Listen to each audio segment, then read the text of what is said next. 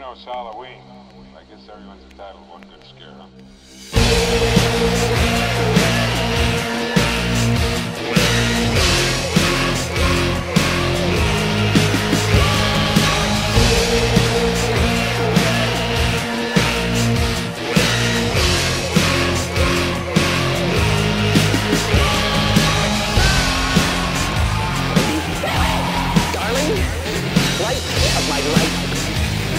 Gonna hurt you. You didn't let me finish my sentence.